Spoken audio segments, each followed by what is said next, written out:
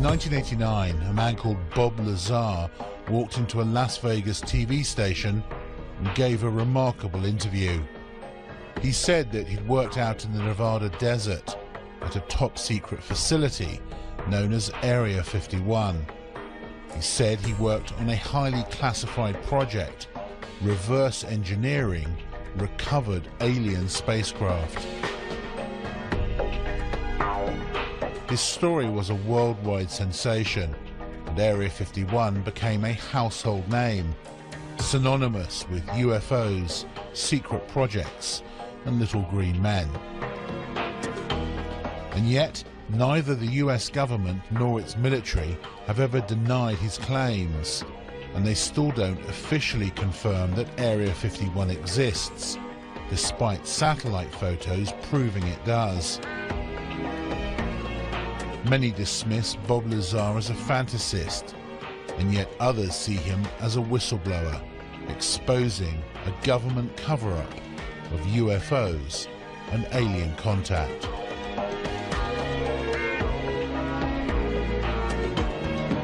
A once secret airbase in the Nevada desert is marking an unofficial anniversary today. Area 51 was one of the most secretive places on the planet, but that anonymity vanished forever because of what happened 25 years ago. A controversial electronics whiz told a fantastic tale during a TV interview, and the story still reverberates today. The I Team's George Knapp played a part in what became an international sensation. He's here with an update. Uh, setting the stage, Dave, you might not know this, but uh, 25 years ago, a young anchor woman named Paula Francis and I were prepping for the 5 o'clock news when we learned that our scheduled live interview had canceled. We placed a call to aviator John Lear to ask if he could get a friend of his to fill the spot, a guy who reportedly worked out near Area 51 and had seen flying saucers out there. It sounded outrageous at the time, but that interview with Bob Lazar turned Area 51 upside down. We coaxed a reluctant Lazar into returning to Las Vegas to talk about it.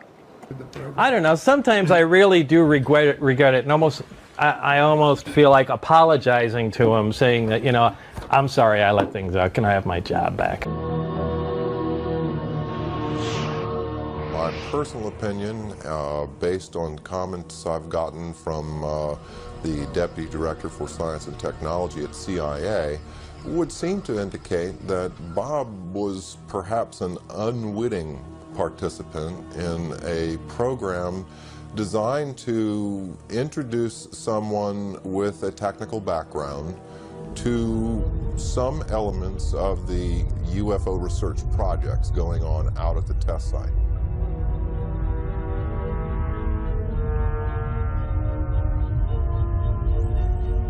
I have no doubts that Lazar actually was in a place where top secret investigations were going on.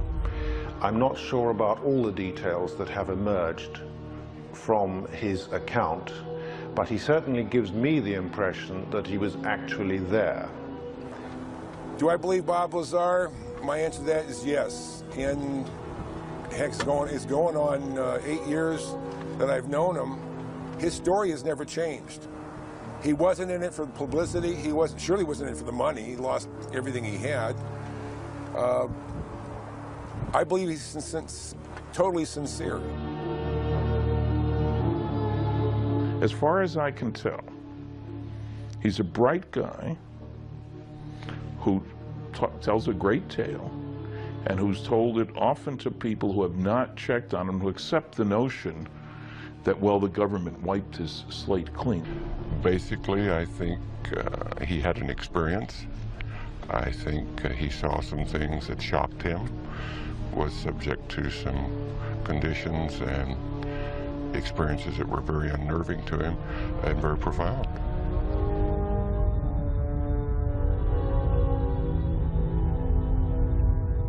He said, you would love to see what's what's out there because it's like beyond science fiction. He said, and I wish I could talk to you about it, but I can't. And that's as close as he ever got to telling me anything that happened out there. You'll find many people who have seen these discs. Question is, where do they come from? Uh, Bob Lazar may be one of the few people who can tell us that they're from somewhere else. I've no doubt that there's a relatively small number of people within the intelligence, military intelligence and scientific and technical intelligence community who are aware of what's going on and an even smaller group who are actually organizing top secret research into this phenomenon.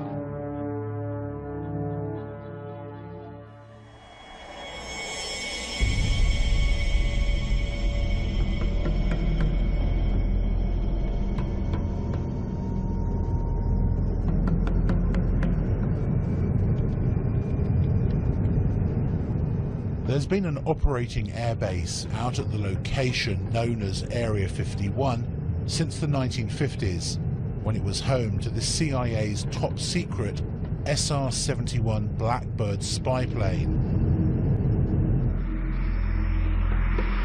Then in the 1970s, it became the test flight center for the F-117 stealth fighter and the B-2 stealth bomber.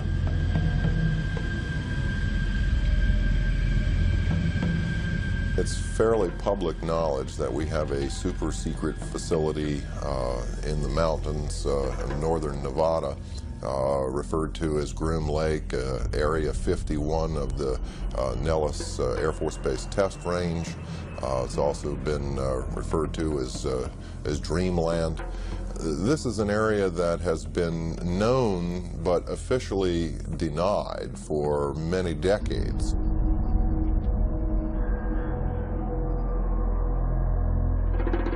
Our super secret aircraft uh, have been developed and test flown out in this particular area. So it only makes sense that if you have something as sophisticated as a flying saucer and the related technology to that, that would certainly be one of the prime locations you'd want to go.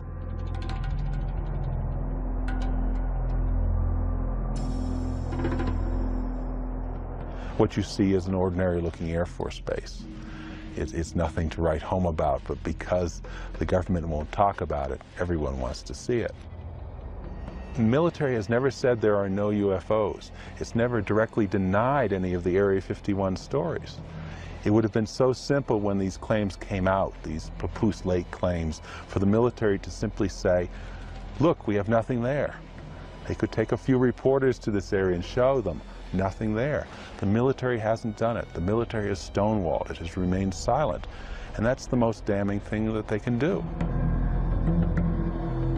Area 51 to this day is not acknowledged. That is to say, the Air Force does not admit that it exists. This status has been maintained very carefully, particularly in the last few years. The puzzle is that the base has clearly been very active for quite a while, and you can see that there are about uh, 700 to 1,000 people traveling from Las Vegas every day. So essentially the bulk of what has gone on there in the last 10 years um, has not emerged from the black. This airplane was, the program was terminated. The airplanes were put in mothballs for 20 years before they admitted the existence of the aircraft. There's programs that they're working on today that are 50 years ahead of anything that you and I can even conceive of, and that we may never, they may never see the light of day. Would you say it's America's most top secret military base? As far as a, as far as an operational test facility, it's probably the most secret test facility in the free world. Yes. So there is no question that the facility is there, that the government has said very little in the past about it. Now, the real question, I suppose, is are there any flying saucers out there?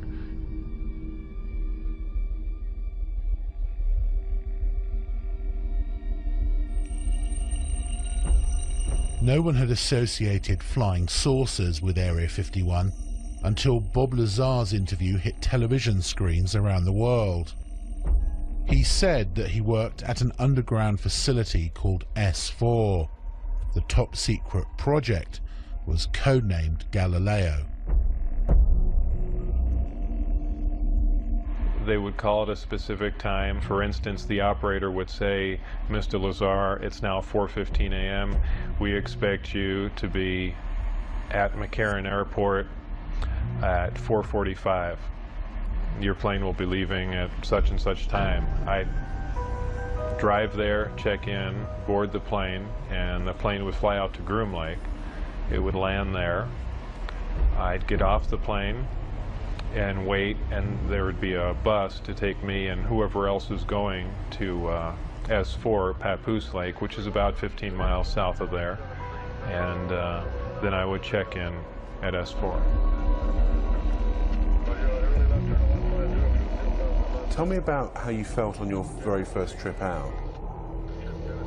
The first trip out there was uh, it was actually very exciting because it seemed so cloak and dagger to me, especially after I got in the bus with the blacked out windows. I, I kind of thought that was neat. Uh, drove out to the site and then uh, it was checked in, guards walking around with guns, and uh, I, I was sure what I was working on was going to be pretty fascinating. He says that within a few days of working out at S4, he was shown an actual flying disc in one of the hangars. When I was brought in by bus, and for the first time, one of the hangar doors, the one on the end, was open. The bus drove up and we stopped there, and uh, clear as day in the hangar, taking up almost all the hangar, was the disc. Uh, looked like something right out of a science fiction movie.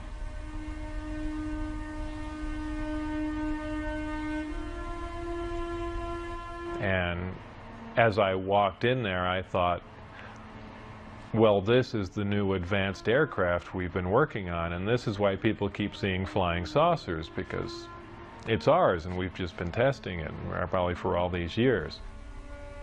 And what, what color and size was it? It was a uh, dull stainless steel, pewter gray, very uh, unimpressive color-wise. About 52.8 feet in diameter and about 16 feet high. So was it actually a recovered craft that you were working on, or was it one that um, scientists had built as a mock-up of, of a recovered craft?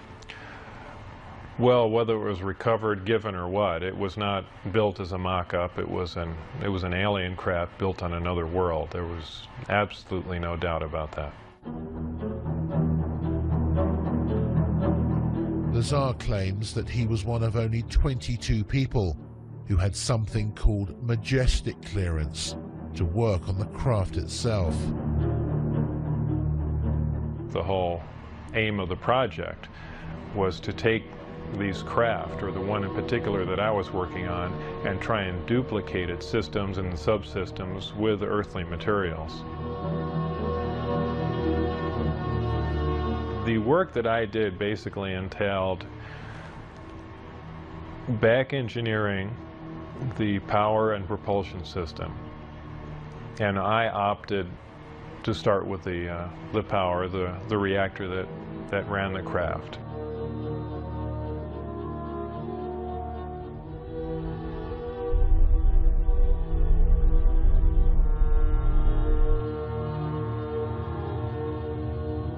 I knew immediately if his credentials could be verified, if even part of his story could be verified, it'd be one tremendous expose. George Knapp was a long-standing TV reporter. He'd heard enough of the UFO rumors over the years to appreciate how big a scoop this could be if Lazar was telling the truth.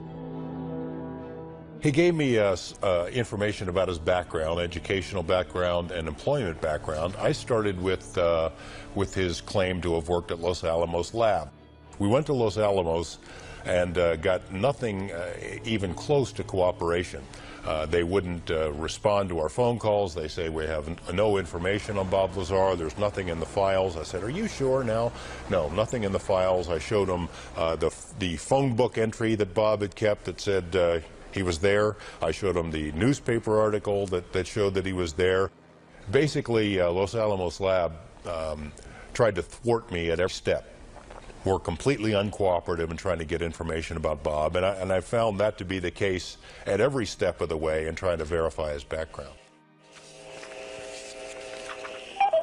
Thursday, 12:37 p.m. Former NASA mission specialist Bob Oechsler had heard about Area 51 and Groom Lake when he worked on the Apollo and Space Shuttle projects. He was intrigued by Lazar's claims and started to investigate. Uh, I did uh, a variety of research uh, relative to Bob Lazar. I actually met him. Uh, I obtained a copy of his, uh, what they call a W-2 form, which is one of the um, IRS documents associated with, with pay. his particular form indicated that he worked for the U.S. Department of Naval Intelligence.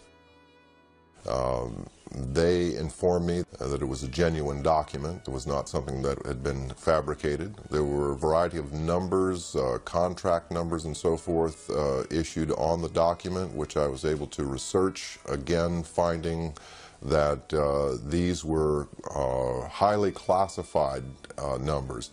In fact, uh, Internal Revenue Service ran into a, a, brick wall when it came to trying to track down the actual employer uh, associated with the, with the document. And then again, with the Social Security Administration, we found that Bob Lazar's records had in fact been, been bleached clean. There was nothing there in spite of the fact that the document uh, clearly indicated that uh, Social Security taxes had been taken out of his pay.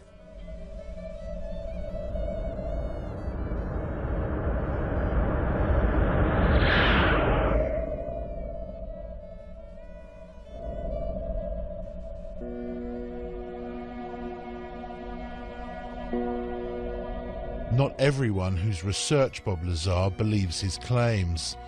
Stanton Friedman is one of the most respected authors in the UFO field today.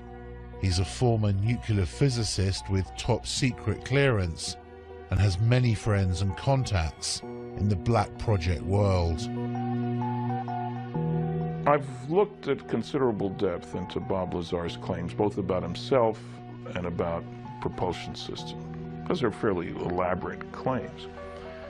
I've talked to the schools that he claims to have received degrees from. I've checked on his high school record. I talked to Los Alamos Lab where he was supposedly a scientist and so forth. I have come up totally empty. Now, when a guy lies like that, you get very wary. And, you know, it has all the trimmings, his story, of a Walter Mitty story somebody in his imagination was, you know, stronger, brighter, faster than anybody else. I don't doubt that he did some work at Los Alamos and other places. He's clever. He drives a jet-powered car, fixes radiation detectors. So he may have performed some service. But I can find no reason to think that he worked out there on a flying saucer. I mean, I had to wonder whether this guy was making this stuff up, but then I see the phone book and I see the newspaper article and I talk to people who worked with Bob at the lab and who said, in fact, that he did work on classified projects, yet no one can find any records of his background. The people that I worked with, colleagues, the people I went to school with, obviously knew I was there uh, and people at Los Alamos. I was friends with and people that worked under me and alongside of me knew I was there and, you know, cooperate what was going on. But, um, you know, officially, it's very difficult to get information for the people in charge. To further prove his claims, Lazar agreed to take a polygraph test, which he passed. The thing that uh, is interesting about polygraph is that if you're embellishing or if you don't completely believe what you're saying, it is very, very easy to detect. Uh, all it really will tell you is that the individual believes with 100% conviction that what he's reporting is exactly as he recalls and as he believes it to be. And that clearly was the case with Bob Lazar. Now, could his perception have been a, a bit askew? Yes, that's possible. But he clearly wasn't lying. I think Bob is even open to the possibility that perhaps he had been used in some sort of misinformation or disinformation campaign. I mean, look at him. He has a pirate flag floating on his house. He races jet cars. He likes uh, fast women. He likes guns. Um, he, he's technically capable, so in that sense, he may be perfect for this kind of a program. Technically capable, scientifically knowledgeable, and yet uh, completely discreditable at a, at a moment's notice. If you wanted to uh, test public reaction to a story about Area 51 and then suddenly discredit it afterwards, Bob may have been the most qualified person in the country.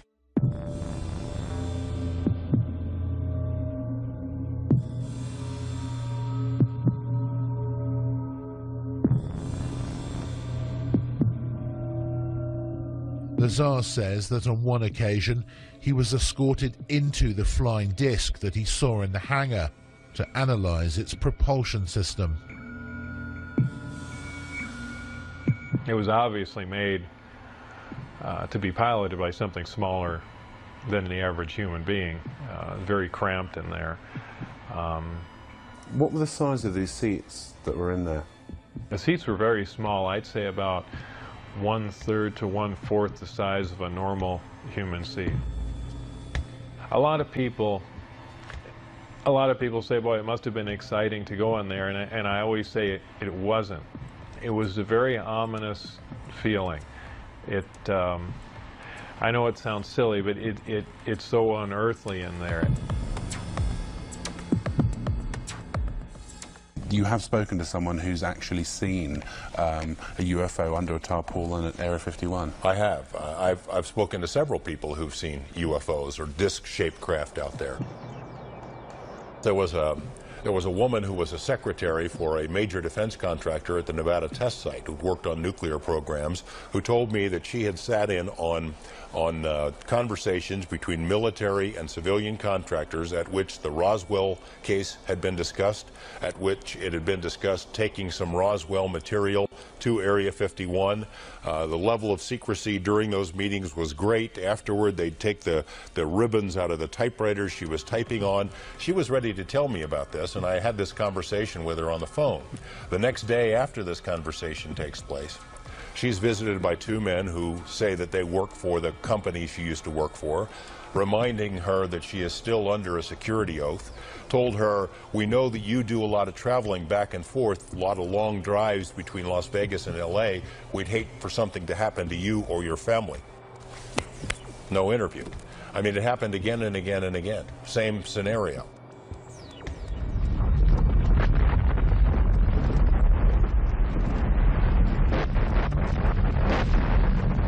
Lazar says that in addition to being shown inside the disc, he actually saw it take off from the lake bed. I was brought into the hangar for one of the short duration tests and the craft was already outside on the lake bed and that was uh, pretty much of a marvelous sight. It's a huge thing. It, I, it's like seeing a house lift off the ground. You, you can't imagine the energy involved to do that.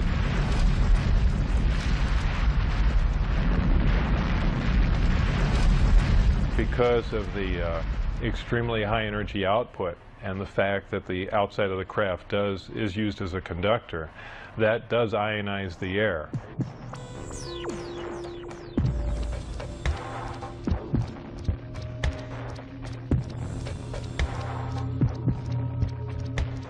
And the crafts do, as a byproduct of this, glow at night, uh, much like a fluorescent tube will light up. So, you know, bright, strange jumping lights in the sky, that, that does explain that.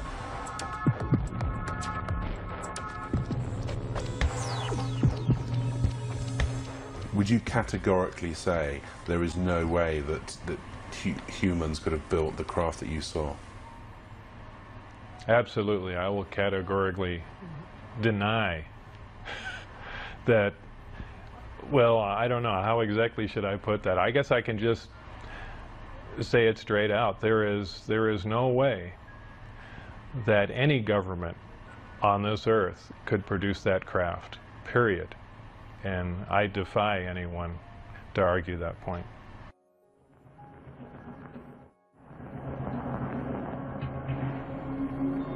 One of the big questions that's hung over this whole story is whether Lazar saw a man-made flying disc and not an alien spacecraft. A lot of these craft which are being developed in secrecy in, in the United States are tested at night.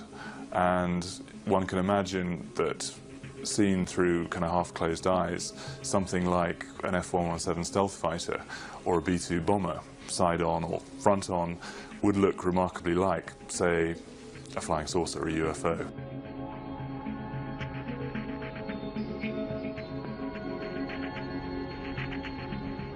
You see an F-117 or you see Tacit Blue um, or you see uh, a B-2 particularly if you see it from some fairly unusual angle, you're going to have a very hard time relating that to conventional aircraft. Um, some of these things can look very strange indeed. Um, so, you know, an unusual but decidedly terrestrial aircraft um, can certainly present the appearance of a disk from many angles.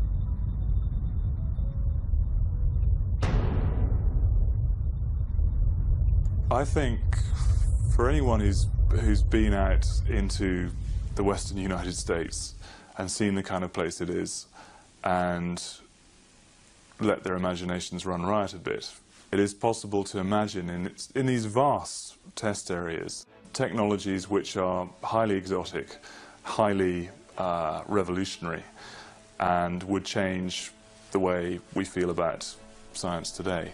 However, to say that that is alien science derived from beyond this world, I think is something which is just, it is unbelievable. It's too much to, uh, to absorb.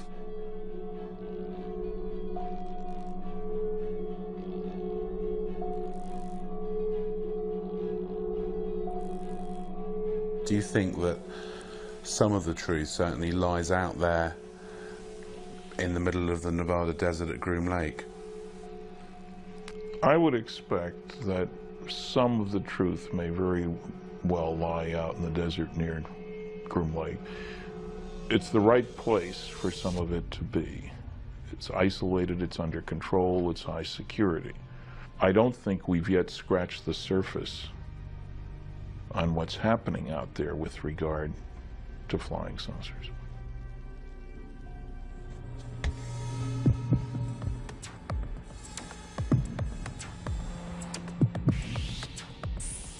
According to Lazar, the craft that they were secretly testing out in the desert at night used an exotic anti-gravity propulsion system.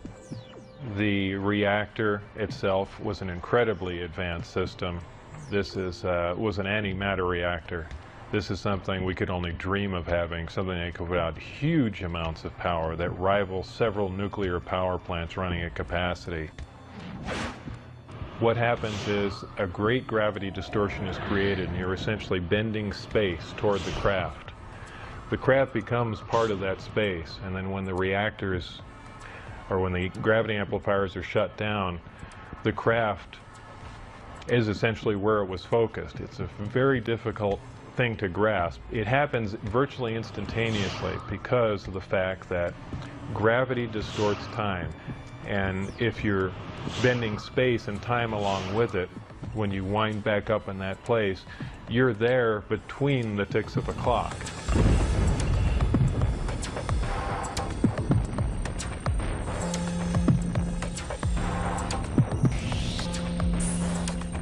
Looking at uh, nighttime video films out in the uh, uh, test site area We've seen video of craft that were uh, luminous, that would move across the sky as if it was uh, skipping a stone across water or, or, sort of a sewing machine effect. What we see across the screen are a series of uh, lights, of dashes of light uh, as the object moves from point A to point B.